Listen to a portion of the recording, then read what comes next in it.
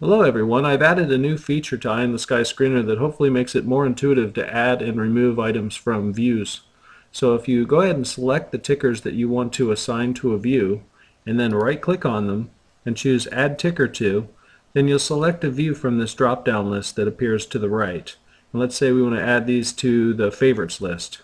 If you go off the tickers you'll notice that the color has changed showing the assignment and let's say we want to remove two of these from that assignment. We can right click and choose remove selected tickers from current assigned views and that will go ahead and remove the assignment. This also works on your custom user defined views so if you choose one of your user defined views that works as well. So feel free to either use the keystrokes like you've always done or use these new menus to assign and unassign tickers to views. If you have any questions, feel free to email me. My email address is questions at eyeintheskyscreener.com. Thank you very much and have a great night.